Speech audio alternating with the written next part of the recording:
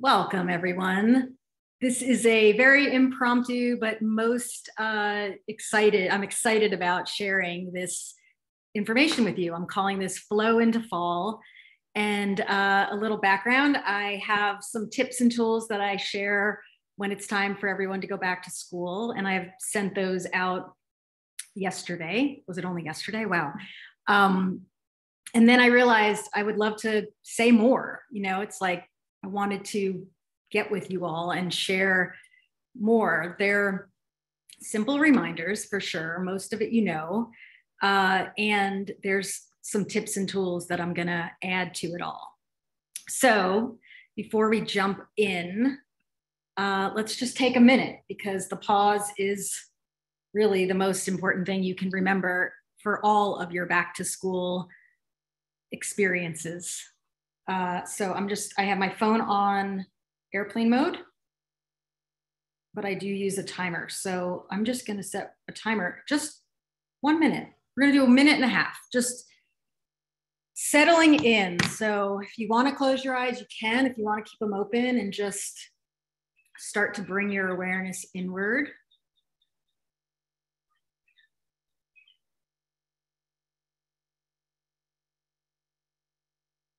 Mainly, this is just for me to land.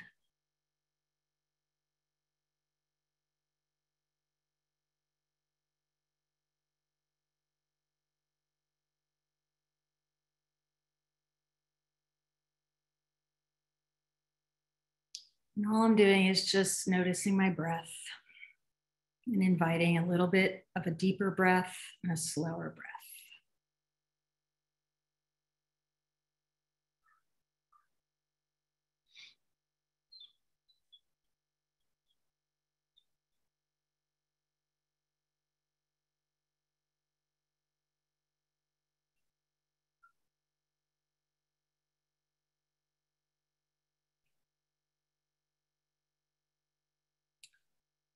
And now I'm just allowing my heart to open, settling and opening and softening.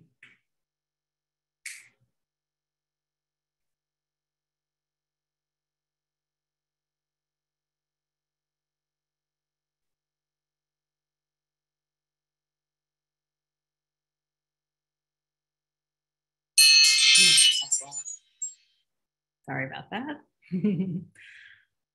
okay, well, that is your tip number one is uh, pause. Just give it a beat. And if you were to just remember that from today, you'd be ahead of the game without a doubt. So there's plenty more, but that's uh, tool number one. And that's something that I am getting more and more skillful at doing, but it takes a lot of practice because it's so easy to want to just jump right into whatever I have to do and whatever I'm doing next. And when I take that minute and a half, that was 90 seconds to just take a breath and just get in there and be with myself, it makes a difference. So let's jump in. This is uh, called fall, flow into fall. Uh, I could also call it fall into flow uh, because that's the idea here is how can you make a very monumental transition in the year, something that you all are going through with your people, um, or maybe you're just going through with yourself. This is a big change of the year. In some ways, it almost feels like the new year. And so I just want to share some tips uh, some reminders and some questions. We're not going to do writing on this call. That's typically what I do in most of my calls because it's so valuable for you to hear from yourself. That's not what we'll do today, but I am going to share some writing questions and prompts that you can then take and play with. Um, so those will be, I'll say them and then they'll be in the chat so you can write them down. Um, Oh, so yes. So we're going to go over my uh, kind of five greatest hits for being more mindful and aware and present during this transition for yourself and your people. And then uh, I'm going to tell you how I'm spending the next nine months, how I'm going to be supporting people going through the school year. So we'll do that at the end. Um, but let's dive in. I'm so excited that you're here. Thank you. All right. um, first tip pause and check in. So we already can check the box on pausing. Uh, you know, minute and a half is not that much, but it can really slow you down enough to hear yourself and to really get a beat on, you know, where are you at? So let me back up. We've got these humans that you love more than anybody on the planet, and they're going back to school, many of them. And um, hold on. Oh, people can't hear. Okay, that's being handled. Um, okay, so let me pause and come back. Uh, so yes, you've got your people, they're heading back to school and uh, it can be a lot. It's an evocative time because you're moving from summer and you all know this, you're living it. Um, but I'm just gonna lay it out because sometimes having it reflected back is really valuable because you're so in it, you're so in the thick of it that sometimes it's really hard to get that perspective on what is shifting and how much is required of everyone this time of year. So it was summer, and you probably had your people, um, you know, they were doing whatever they were doing. The older ones may have been working or doing camps, and the younger ones were home. And now here we are, and some young people have been back in school for weeks now because everybody is different. Some are going today. I'm in Maine, and that seems to be where the day that a lot of people are starting. And then, uh, you know, a lot of East Coasters don't start till after Labor Day. So we're in this window of change, of transition. And um, it's a big one because not only is your family life changing, you know, you're all going in maybe different directions than you were going this summer, um, but a lot more is being required of your young people. And in turn, a lot more is being required of you because there's a lot being asked of you, their parents, in the midst of this as well.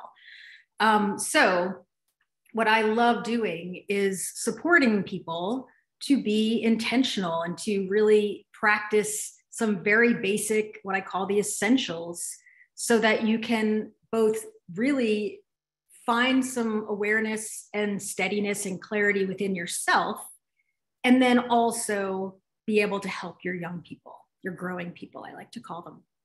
So, first and foremost, and always, is pause and check in.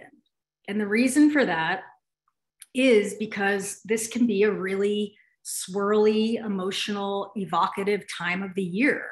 You know, like I said, so much has to be considered and handled. And you've got these young people who are out there for you know hours at a time 5 days a week learning and being asked to you know perform in some ways and be present for their school experience. And so you know there's a lot in there. And so you've got just the general emotion of kind of turning the calendar and realizing, wow, my people are another grade older. So that's evocative in itself. Just the awareness of like time passing and your people getting older.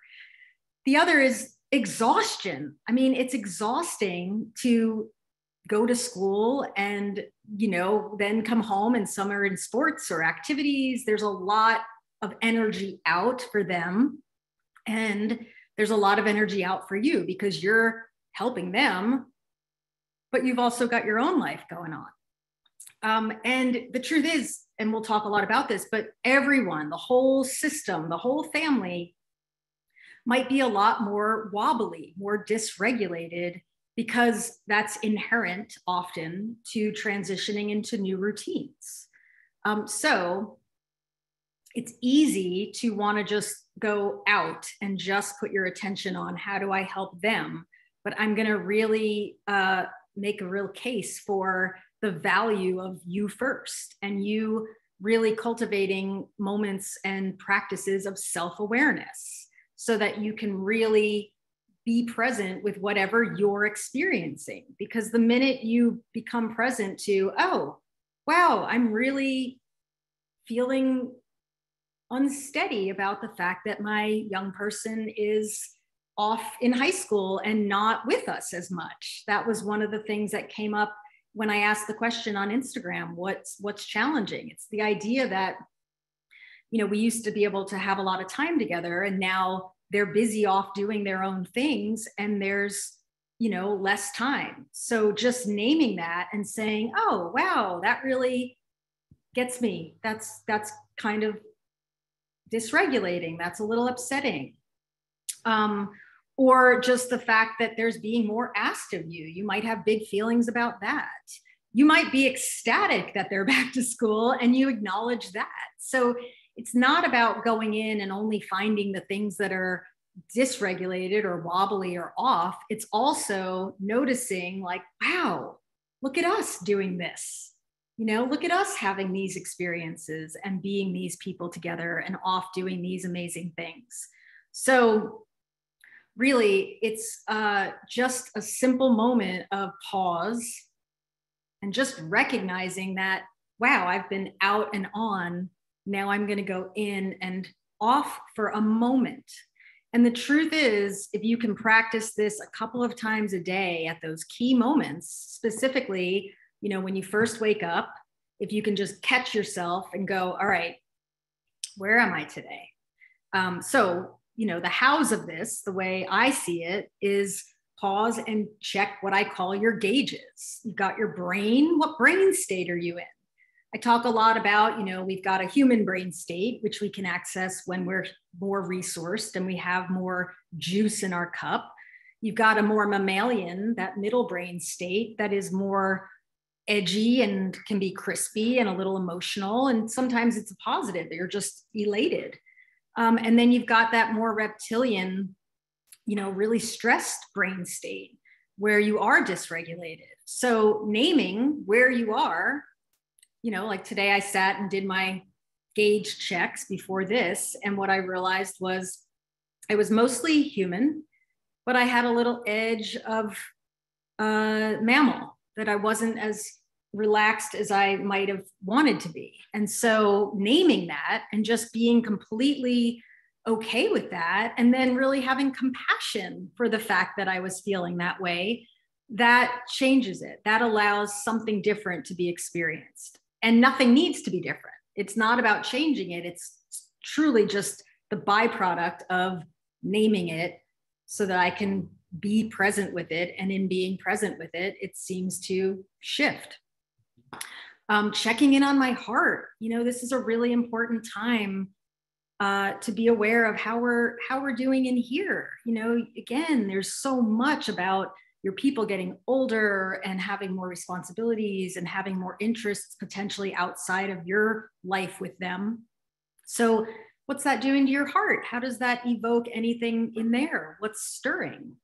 Um, checking on your body. You know, if you're tight and tense, it, it you might not even notice it. It might be that you're just getting up and going and off you are. And I promise you, if you're tight and tense, the people around you are going to sense that. So, loosening up your molecules, relaxing your body, just noticing, okay, what do I need to get a little softer here? That could be valuable.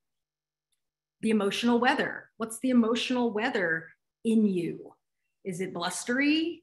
Are you out of sorts? Is it sunny? We had a rainstorm this morning and now the sun's coming out. And I sometimes feel like that in me where it's like, oh, okay, there's a lot going on, but now, ooh, here we go. There's some light behind that cloud. Um, and then my gut, you know, what's happening in my in my gut, my gut, my knowing, my guide inside. What's that bigger knowing trying to uh, or not trying, but what's the awareness that I can tap into when I've checked the gauges and it allows me to be present. And then through presence, whoo, I open up to this deeper knowing. You know, if I want to, I call it slowing down to the speed of knowing that the minute I pause and check in, I'm inviting a, another part of me, that big beingness, to come through because I've gotten a little more aligned in what's going on in there. So, those are the gauges that you can be checking, and that's a good way to get a little more awareness of where you are, self awareness.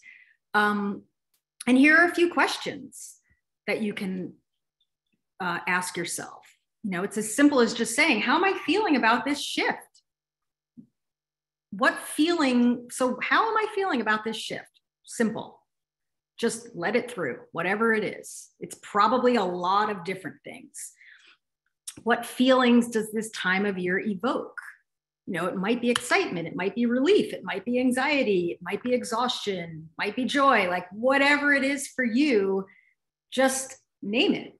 All different parts have all different experiences of this transition. So being present and aware can make a difference. And then, you know, how do I want to feel as we head into fall? You know, taking five minutes or even three minutes and just writing how do i want this fall to go? Like what's the what are some of the important pieces that i want to be conscious of thoughtful about? What do i want to consider as we move into the fall?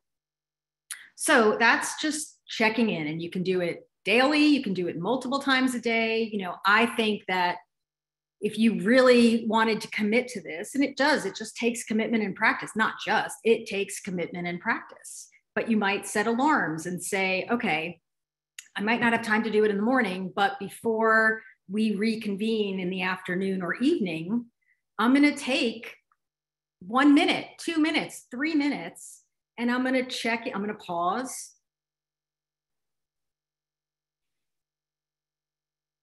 And I'm going to check in.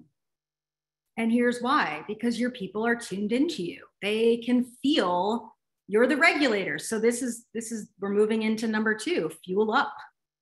You know basically um, once you've done the check-in and you start to recognize and notice where where you are you know a lot of times what you hear is oh i'm i'm my energy's low.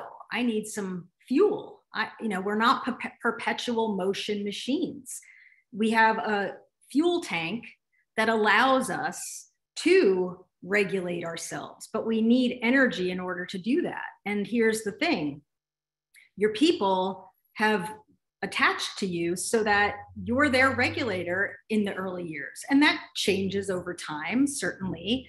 But for a good chunk of the time that they're in your home with you, they're coming home with an unconscious expectation to plug into you and feel fed in some ways uh, by your energy. And if you're depleted, which you might be, uh, they're going to feel that and it's not going to go well. So you're the regulator, you're the one they're coming home to.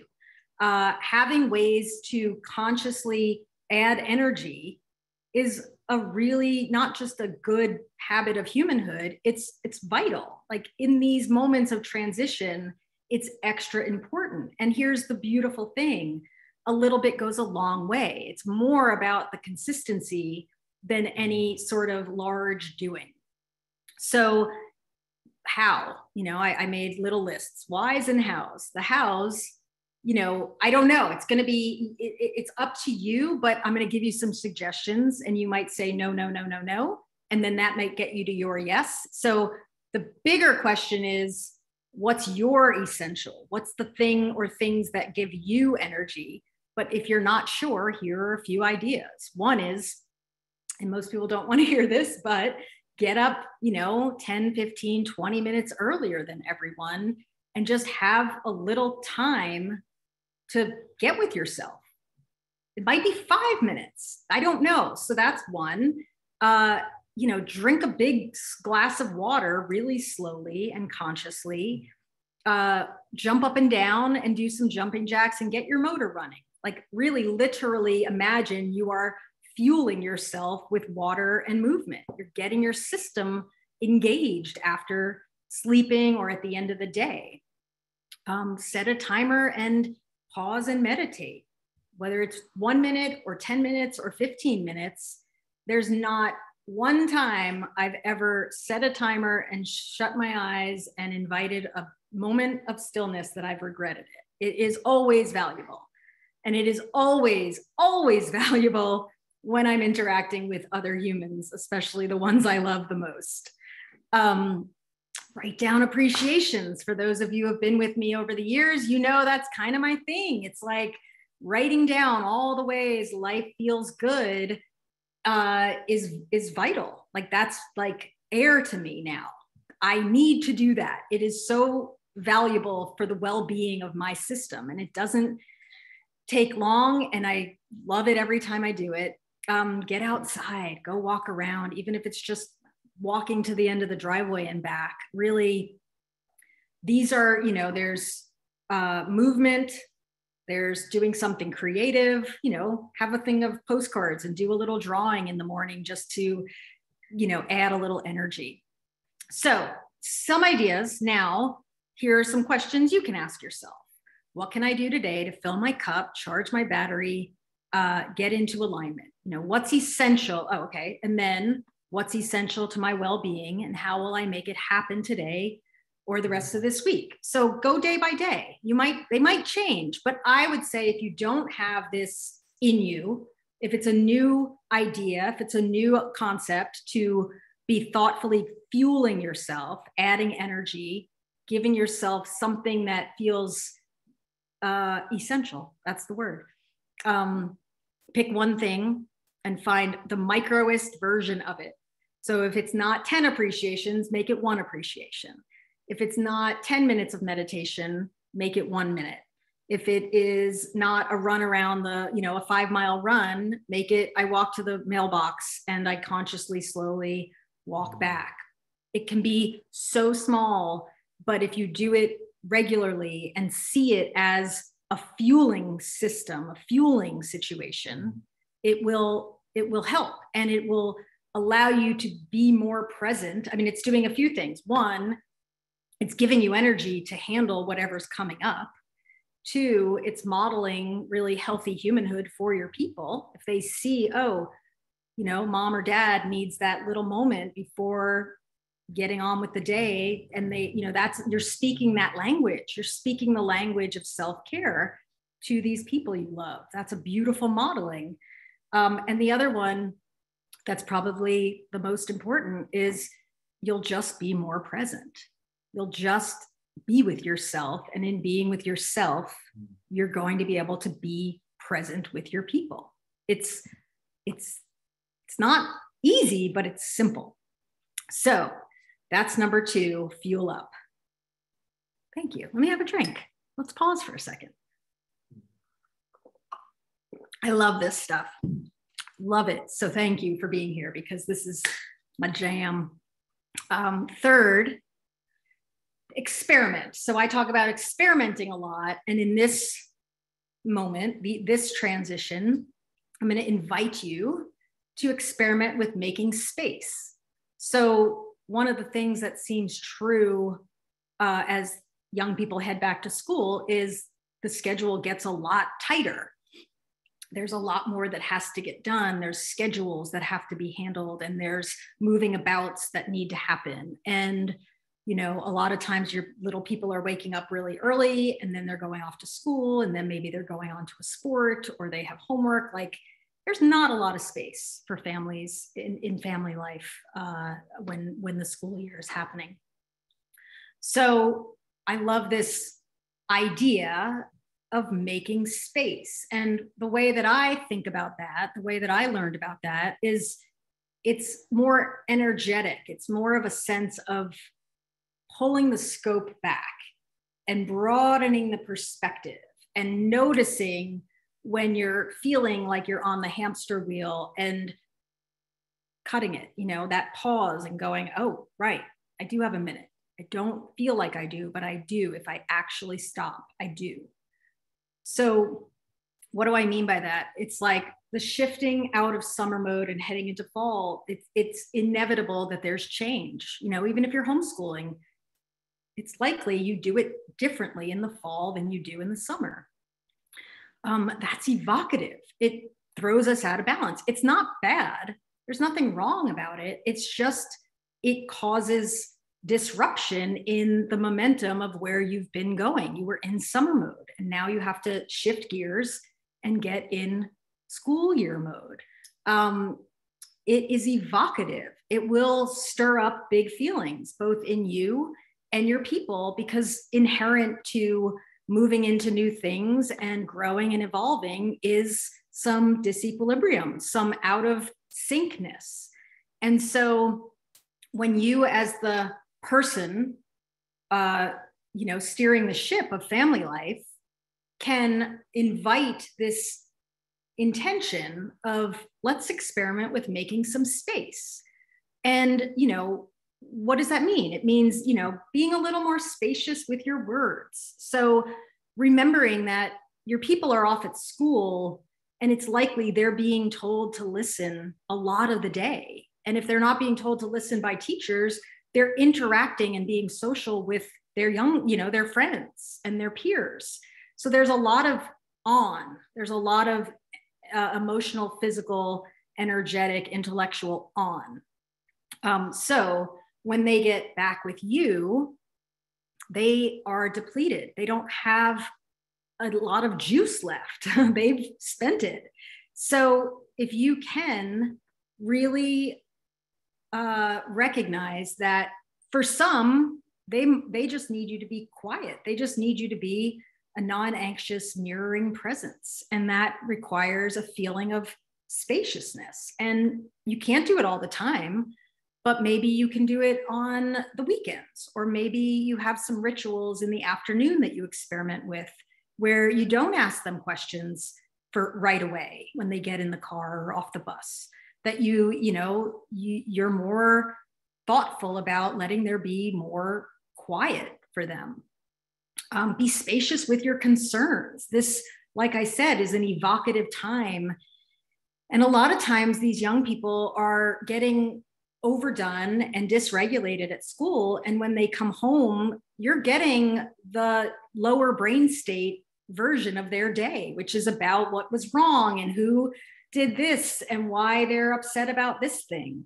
Um, and it could be easy to want to be reactive to that. This is your child. These are the people you love the most. You want their lives to be wonderful. What I'm going to say is just give it a little space, just hold it you don't have to act on it. Just be with them in their upset. That's part of how we re-regulate. We you know it's like with a little baby person they get overdone and they go wow wow wow wow wow and you hold them and you comfort them.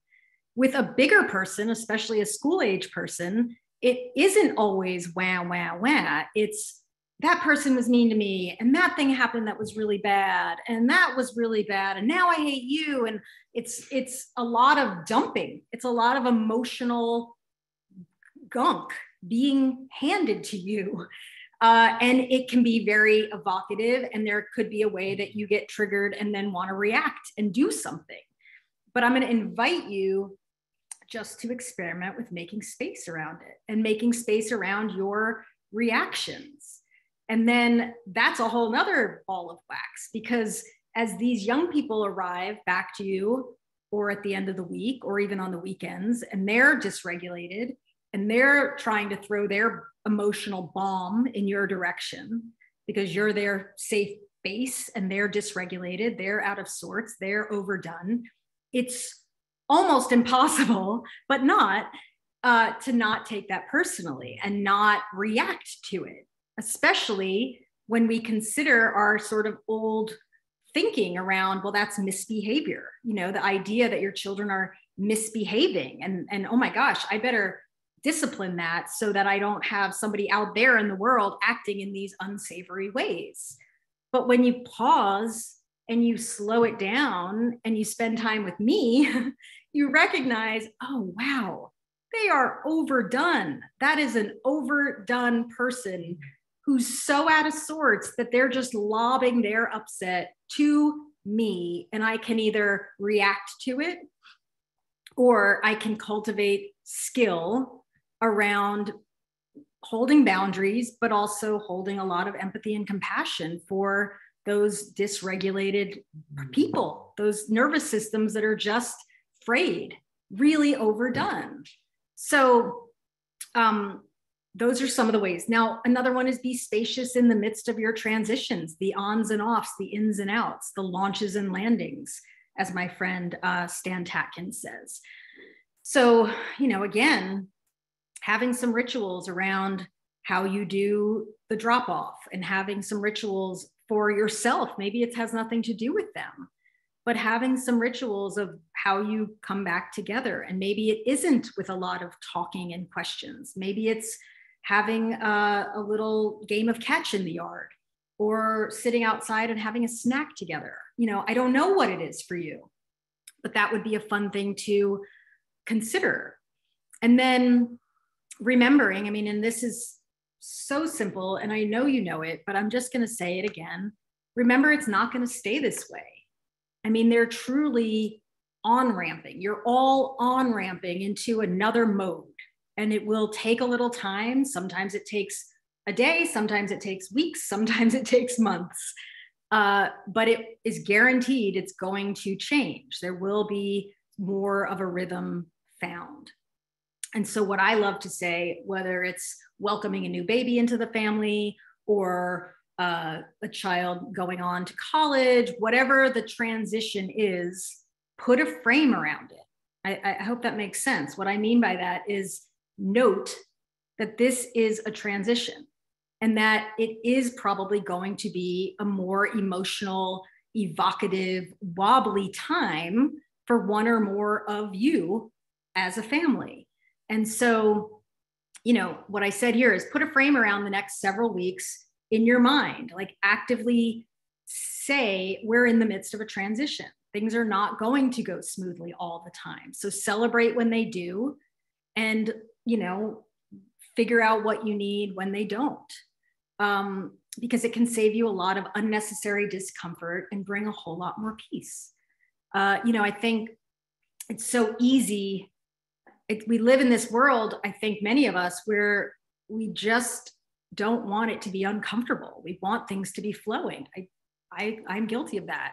And yet, when I do go through transitions and I do embrace that something is changing and I do feel all the feelings and allow the people around me to feel what they're feeling, um, it does go more smoothly.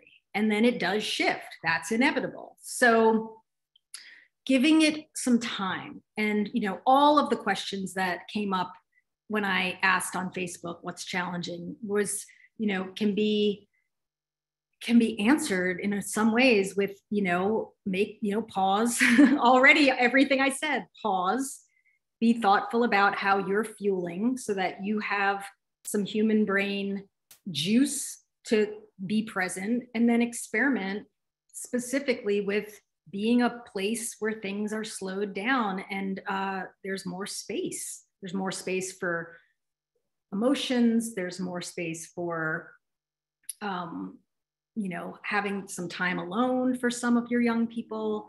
So play with that. So some of the questions you can ask yourself in this regard. How can i make more space for myself today? Maybe that's your question in the morning. Maybe that's your check-in question. How can i make more space for myself today? How can i make more space for my people? And what does spaciousness feel like for me you know even the act of just considering what does it mean to feel more spacious sometimes brings more spaciousness.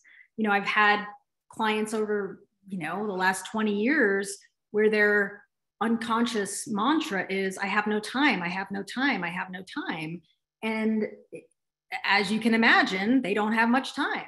So what if you note and invite and get curious and experiment with okay what would it be to feel spacious? And it doesn't mean that you you know maybe it does. Maybe you abandon school altogether and off you go in a rv to explore the world. I don't know. I don't have any clue what anybody else is here for but i do know you can find little pockets to experiment with this sense of like okay what is it what is it for us to create a family system that can feel spacious. So play with that. Um, four is steady the ship. So let me just recap. We talked about checking in, pausing and checking in, fueling up, experimenting with making space. Uh, and then four is steadying the ship.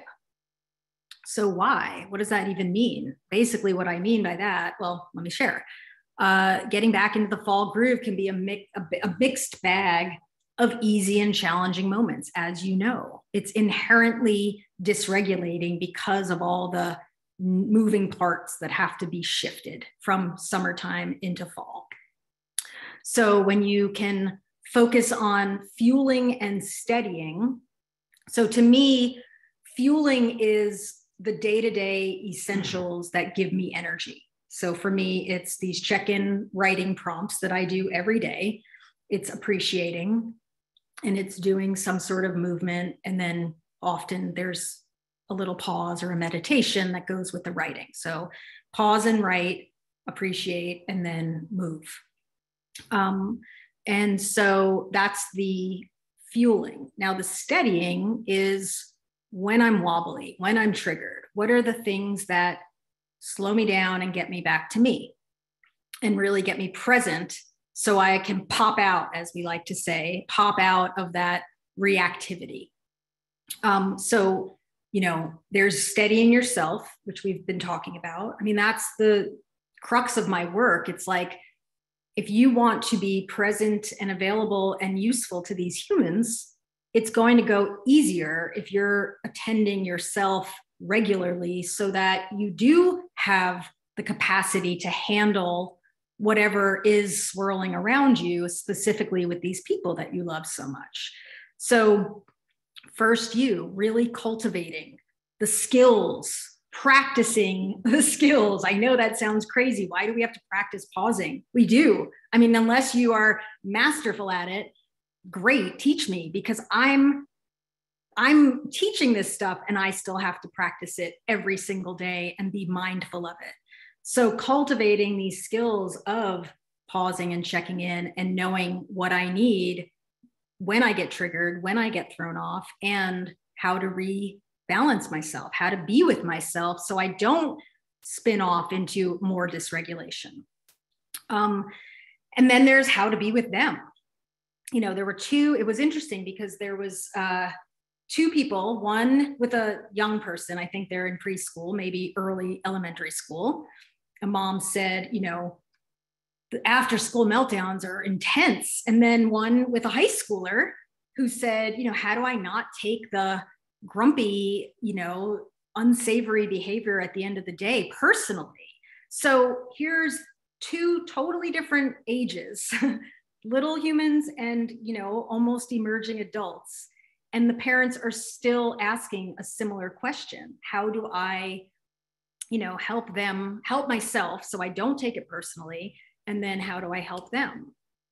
Um, I think a lot of it is getting curious you know, if you know what steadies them, great. But if you're not sure, then get curious. And, you know, do they need connection? Do they need space? You know, it's like a lot of the intentional parenting movement is about connection. And what I've come to know over the years is connection doesn't always, isn't always the thing that your people want right away after school. They sometimes need some serious downtime to collect themselves before they're available for connection.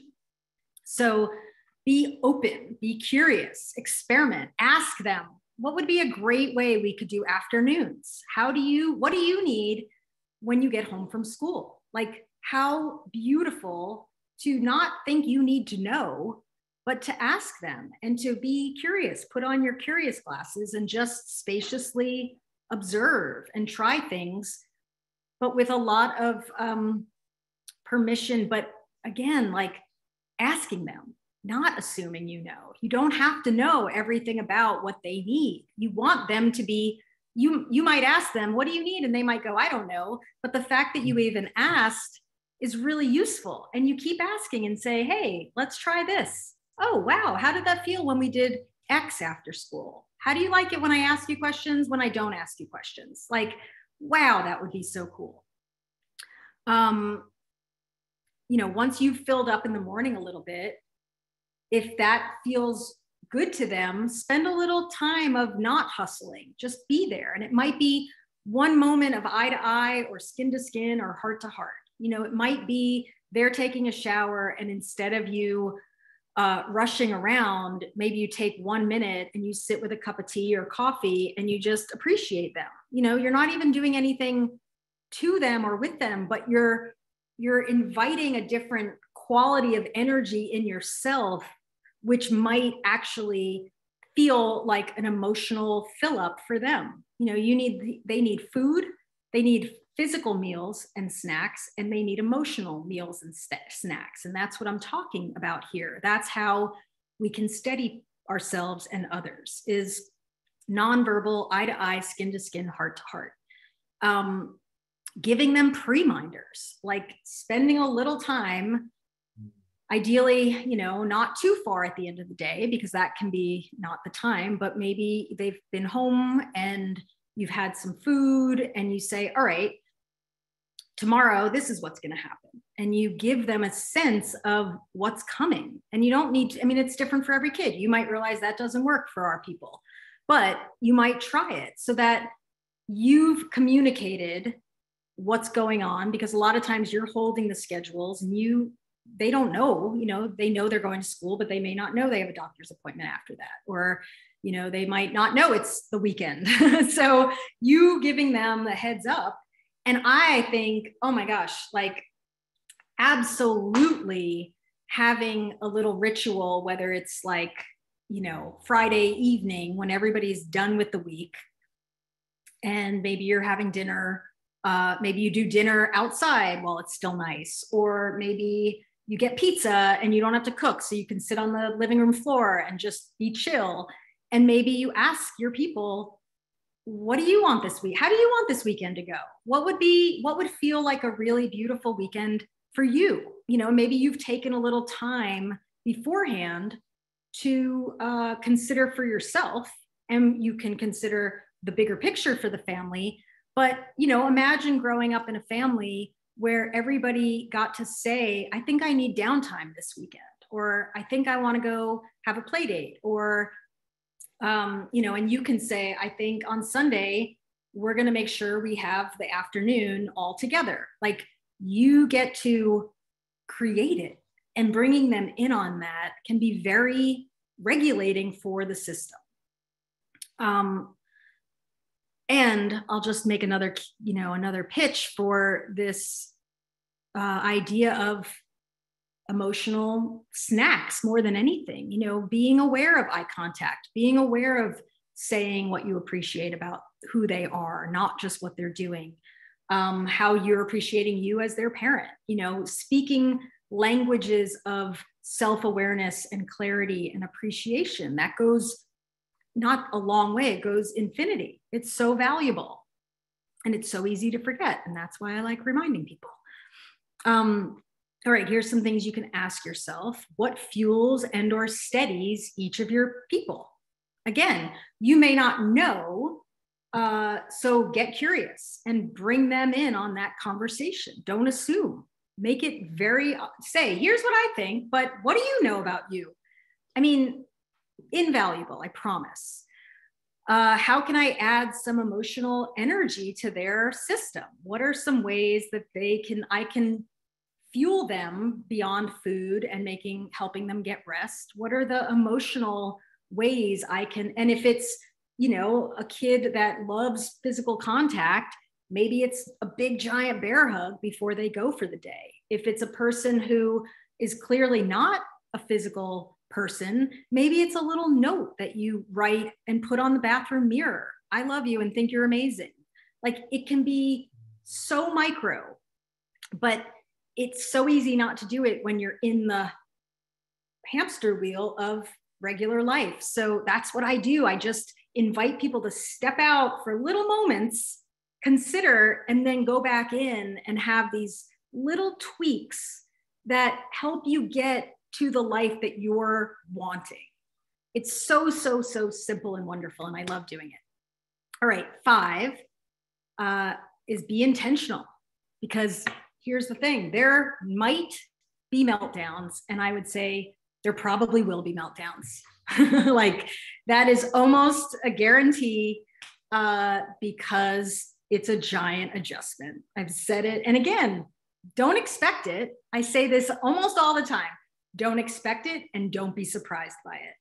Like that's the thing is you've all many of you have heard me say this for years and i'm imagining that when your kids were five and i was saying it and now that your people are maybe in high school and you're thinking really? Still the meltdowns after school? Yeah totally.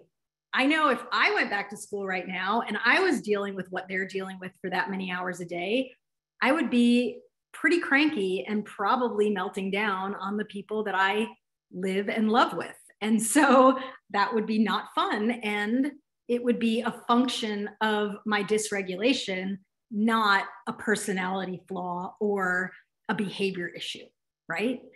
So um, a lot is being asked of them. They are stretching and they're doing it beautifully.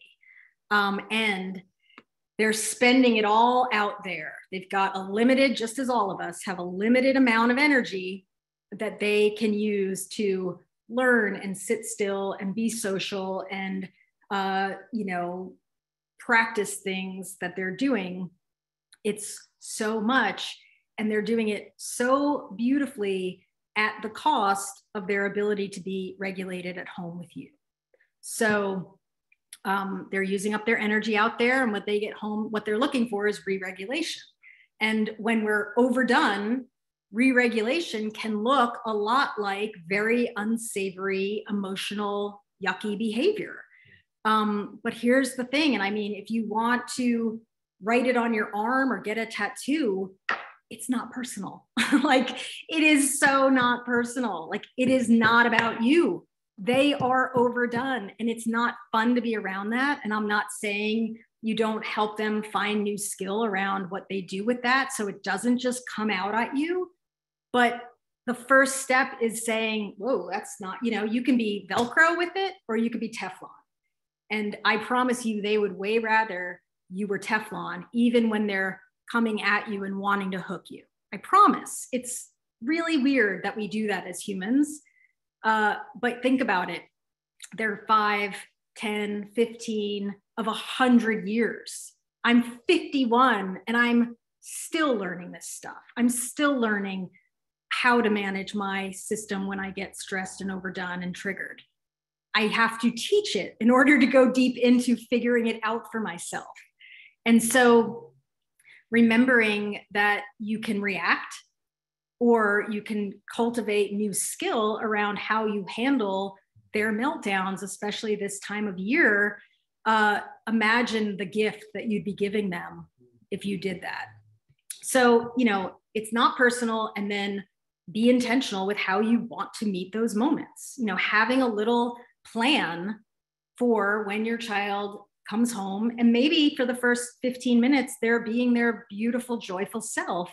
And then all of a sudden, click, they're gone and they're messing with their sibling or they're being really rude to you or they're complaining about something that happened. How do you want to be with that? How do you want to catch yourself, name that you're getting dysregulated so that slows it down, tend your mama or papa heart who feels like, oh, my child is being mean. That's real. And you can tame, tend that and then have some ways of being and a lot of it is zipping it not not engaging. You know if you can stay present and hear them and empathize great but if you need to step out and go splash your face with water take a drink get a snack it's okay. It's, it's all okay. It's really if you think about and that's the bigger thing. One of you said you know i'm having a tough time. My my child's coming home dysregulated and it's um it, it's making uh sorry i lost my notes. It's making the evening harder. You know there's a lot of emotion. And what do i do? And it's like all of this. You do all of this and you experiment with ways to slow it all down and be present with them when they're having a hard time and mostly really getting with yourself and really empathizing and having compassion for the fact that this is intense. Um, but also to uh, you know talk it through and have some plans for well how do we need to re-regulate before we jump into homework? Or how do we need to uh, you know do we need to go outside and run around uh, before we you know it's like i think it's really crazy that we ask children to be gone and on for as many hours that they are and then to come home and do more. And so, and I get it, you have to help that. You, you are often in the position of helping with that.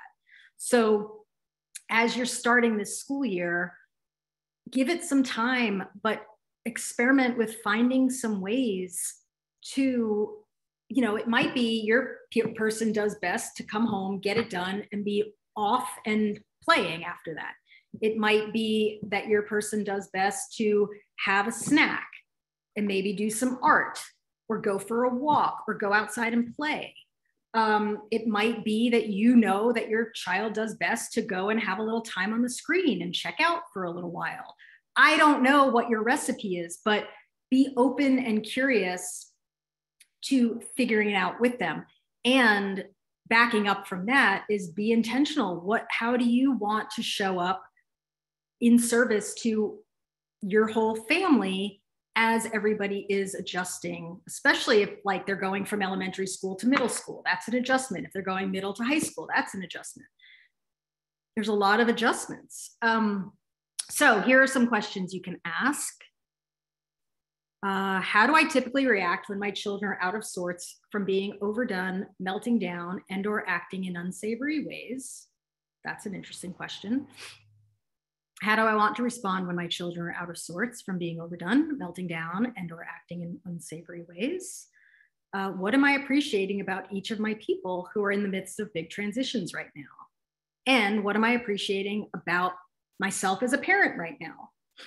And what am I appreciating about our family? And then I think on Fridays and then again on Sundays, asking, you know, what do we all need this weekend? Okay,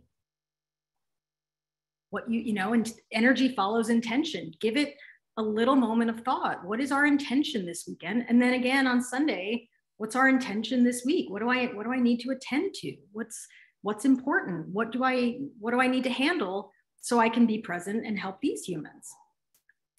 Um so that's the gist. I have more to say. I'm just going to check in on the questions to see if i kind of got there with the people that shared on instagram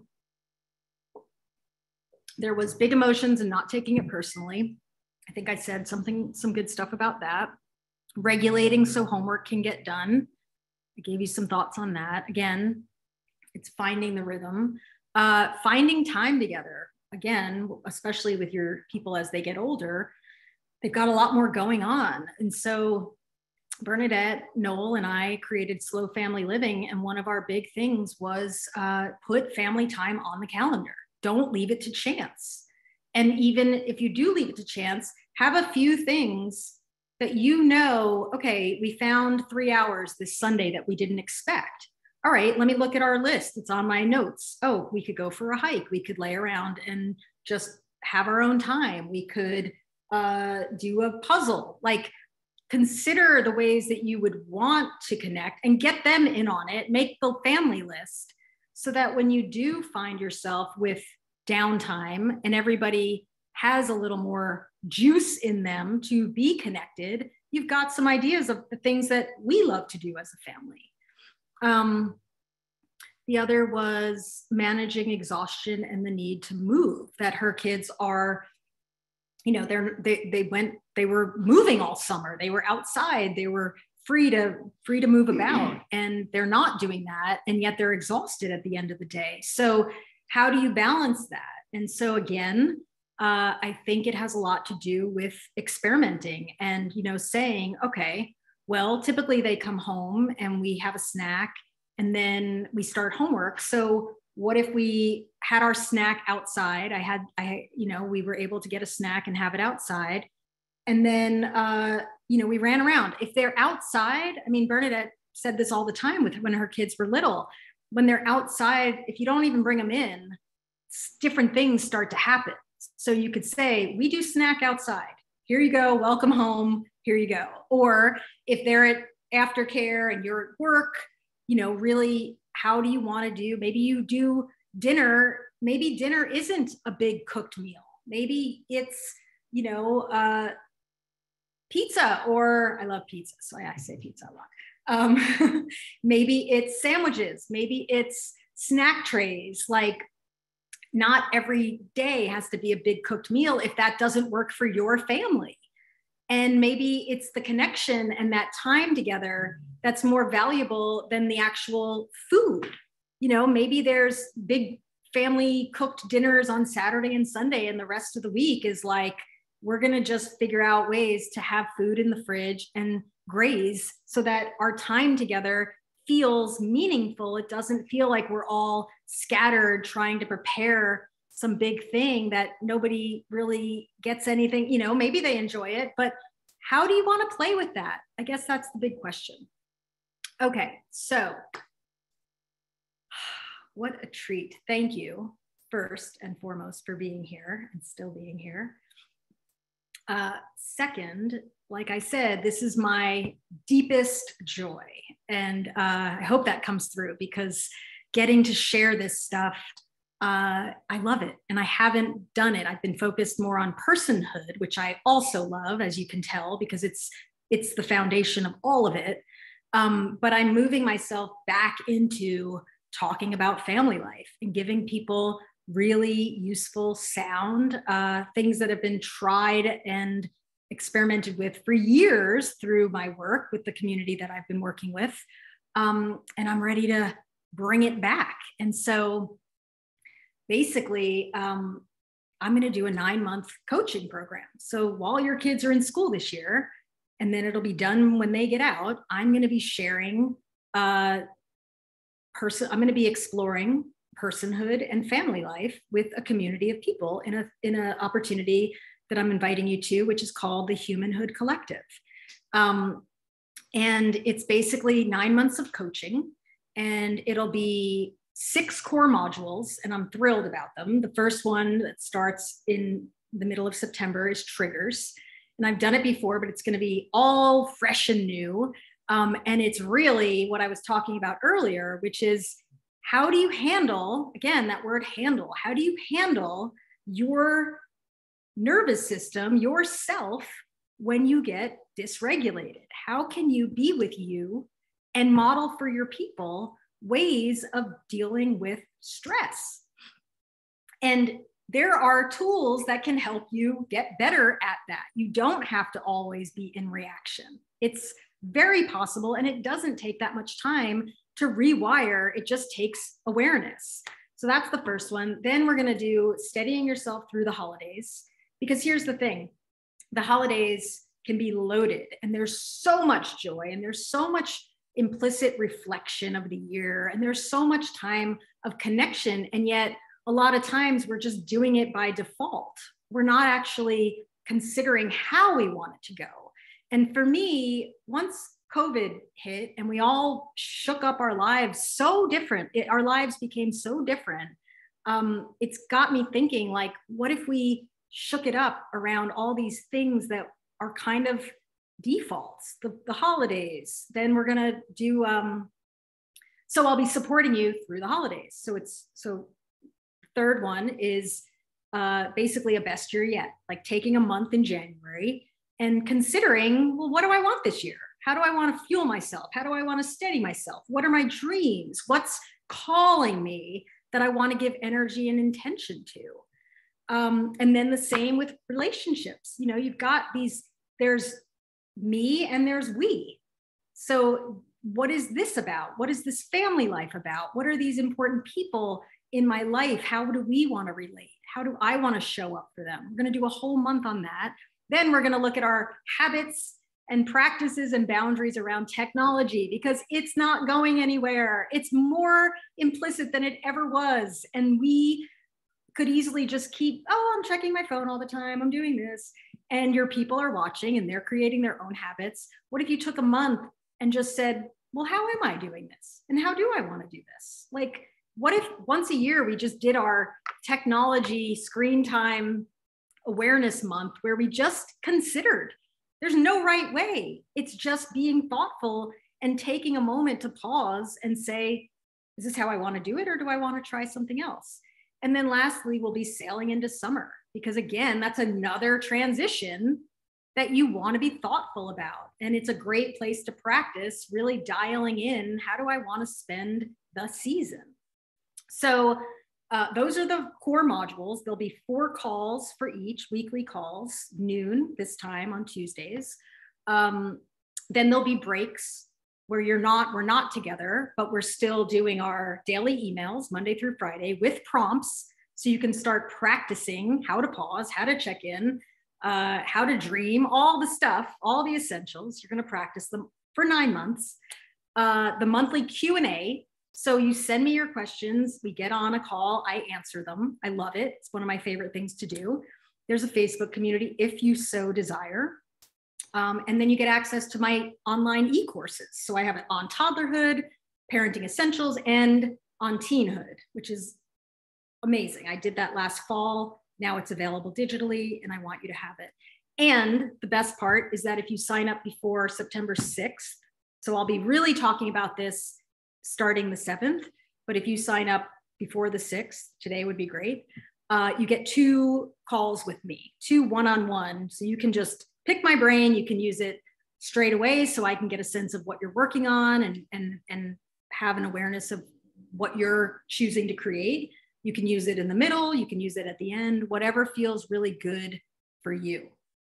So, uh, this is my heart's passion. This is my best stuff. This is my newest version, my evolved. I've been sort of off of this for a while and I am like, yeah, I'm so ready to get going. My butt wiggles when I think about it. Um, and I would love to have you. And a lot of you have been with me, and it might be fun to come back and just take this year to slow it all down and consider and really just give yourself this time. Uh, oh, it makes my heart like almost a little weepy of like, like, oh, I just want to wrap you all up and give you hugs. And that's what I'm going to be doing virtually with the courses and the emails and the, the community. So I'll pause there. Uh, I'm available for uh, calls if you want to ask me questions individually about this. You could shoot me an email. You can sign up to get, oh, Megan just posted a little 15 minute chat um, and we can we can kind of assess if it's what you need and and and if it's you know worth the time and investment. I promise you it is and i understand it's a big decision. So give it some thought consider tune in thinking feeling knowing ask your gut your inner wisdom your guide inside if this is the time you want to embark on this with me. Uh, i will welcome you with open arms. And i just want to say thank you so much for being here uh, I am going to shift and not do any discussion now, but if you have questions for me, shoot them over. Hello at carriecontey.com. Sign up if you want to talk about the offering. Sign up if you're like, yeah, let me in. I want it. I want it. Um, and if I hope I get to play with you this year. And if nothing else, thank you so much for coming to this. And uh, I send you just a giant heart full of love. Mwah. Thank you so much. Bye.